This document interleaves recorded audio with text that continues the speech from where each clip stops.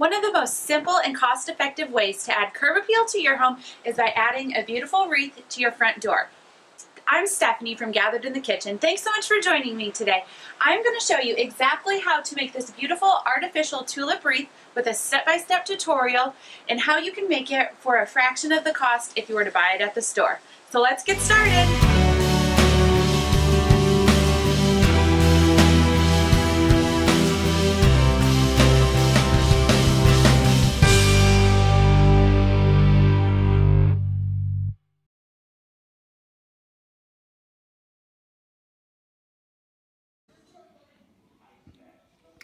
Okay guys, we're gonna go ahead and get started. So I've got our artificial tulips here. I have several different colors because Michaels actually did not have enough of these pretty pink ones. So I grabbed some peach color ones and some white ones and I'm gonna mix them all together to make this really pretty wreath. The next thing I have is a satin ribbon. I chose a color that coordinated well with all the colors of the flowers that I have. I've got a foam wreath some wire clippers. Now you don't have to use this, you can just use scissors instead. However, we're gonna be taking apart these flowers like so, and it's just a lot easier to do so with wire clippers than a pair of scissors.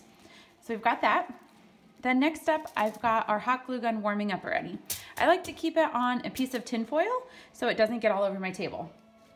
So all right, let's get started. We're just gonna start by cutting all of our flowers. So I've actually never made this wreath before, but I saw um, a tulip wreath that I just absolutely fell in love with at the store, but the price tag was super expensive. like, I'm really not okay with paying $60 or more for a wreath when I know I can buy the supplies myself and make it for much cheaper. And then also I can do whatever size I want as well as um, choose the colors for exactly how I want them. Because a lot of times at the store, the colors aren't exactly what I would like. So this is a really great alternative. And it's gonna be so easy to do. So again, we're just gonna cut these and then start putting them on the wreath.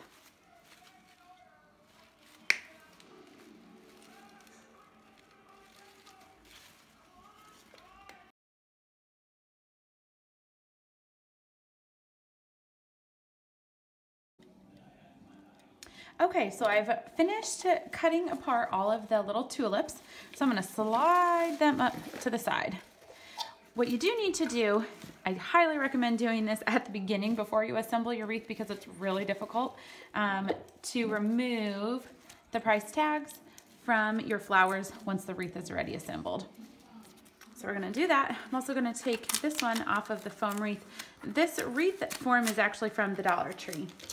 So, all right, we've got that. Now we're gonna cut open our ribbon. Let's see here. This is one and a half inch wide uh, satin ribbon. So what we're gonna do is we're gonna unroll just a little bit. I wanna keep it pretty short right here. And I'm going, I'm just gonna go ahead and cut this edge just so it's a little nicer looking. And what I'm gonna do, I'm gonna take my hot glue gun I'm just gonna put a little bit on here for now because we need to hold this uh, satin ribbon on. All right, now to get going, I'm going to wrap it about two times just to get it on there nice and tight because I don't want this to come off. So we're gonna wrap it, keep it on the spool and just start wrapping. So, all right, we are ready to begin.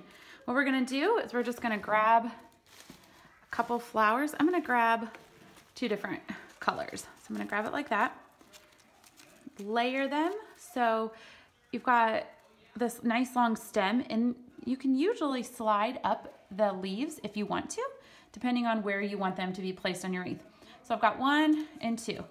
I'm gonna slide the bottom set of flowers, leaves up, and then keep the leaves on the second set of flowers down just to even it out and fill it out a little more.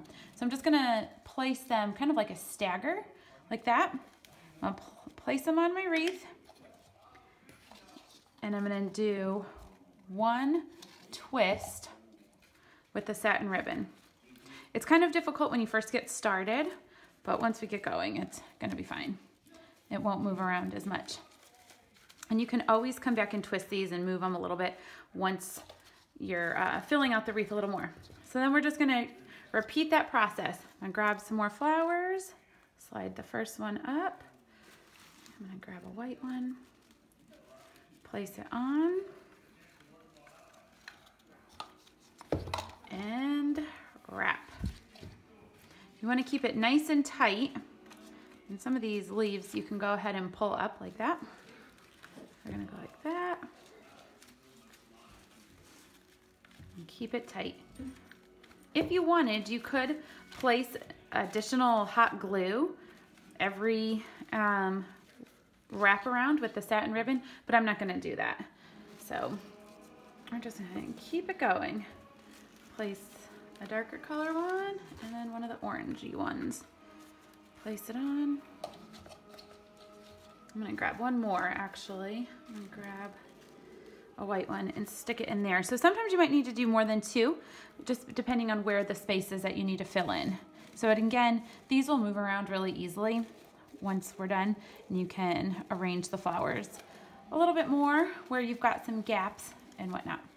So we're just gonna wrap it again. We're just gonna repeat this process over and over and over again until we get the finished wreath with all of the tulip flowers. You could stop halfway, do only half of the flowers. So I'll just show you like this. Do like a halfway wreath, wrap the satin ribbon a little more and put a letter here or uh, because this looks very Eastery, you could put an Easter bunny. You could do anything.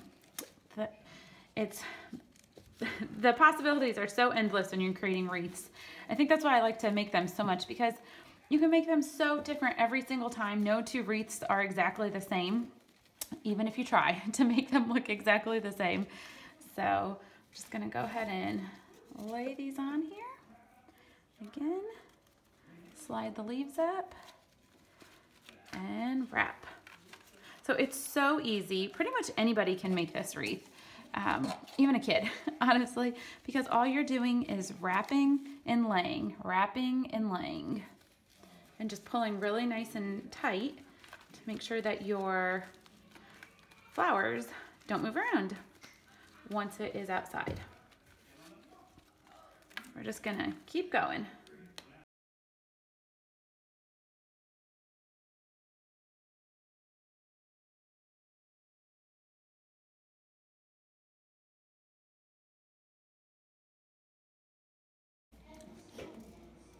Okay, so we're almost at the end here.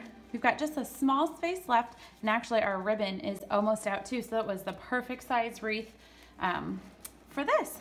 So what I'm gonna do is I'm gonna finish this up, and we're gonna just tuck the stems of the flowers that we're gonna be adding in now through the ribbon that's already wrapped around.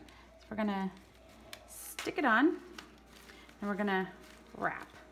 And because we're getting close to the end here, I am going to go ahead and place a little bit of hot glue on our ribbon. Push that up a little bit. All right, so I'm gonna do is I'm gonna place a little bit of hot glue here. Now you'll wanna be careful simply because it's going on the satin ribbon and it will be hot. So like that and we're gonna wrap. This will just help hold everything in place a little bit more and make it easier to tuck in a few extra flowers as we go. So I've got just a few left. If this happens where the flowers pop off, all you have to do is put them back on their artificial stems. You can always put a little hot glue there too to help it stay in place. This happens all the time even when you're at the store. I always try to buy the flowers that have all the, or all, buy the stems that have all the flowers still on them because otherwise you're gonna getting ripped off for your flowers because they're not all there. So, all right, this is gonna be our last one and then I've got one left and I've got two flowers that have popped off so we can find where those need to go. So what we're gonna do is we're totally complete now. We're gonna finish this up. I'm leaving the tape on for now from the ribbon just to help me hold it in place while I flip it over. I'm gonna put some hot glue all over this. Unfortunately, my hot glue is pretty much out right now, so I'm gonna have to add a little bit more in a minute, but I'm gonna do that. And then tightly, tightly, tightly put that on. Now, as you see, I do have a couple spots where I didn't wrap the ribbon quite perfectly, and that's okay, because that's gonna be on the back side. You'll never see that. You can wrap the wreath before you start putting the flowers on with the satin ribbon, so it'll be like two layers of ribbon, but I chose not to do that. it's just kind of extra ribbon that you need then. All right, so we've got just our little spot right here, and I'm gonna tuck this in and fill it in. So again, this is such a simple wreath that took me less than 20 minutes to really make. And altogether, the supplies cost under $20. So I'd say that's a really good bargain compared to the $60 wreath that was on sale that I was totally in love with, but didn't want to spend all that money. So just go to your local craft store or the Dollar Tree, purchase artificial flowers, artificial tulips, or whatever kind of flower you want, and some satin ribbon and fill it in. So right here, since I've got this little gap, I'm gonna go ahead and do a little bit of glue and just kind of put those on there because I don't have any more stems of flowers. So just do it like that and fill it in. So there you have it. There's my beautiful wreath. Let's go put it on my door. So there you have it, guys. My beautiful artificial tulip wreath that is so bright and cheery and welcoming. To me, every front door needs a wreath. Otherwise, it just looks naked. And you don't want your door looking naked. So add a wreath.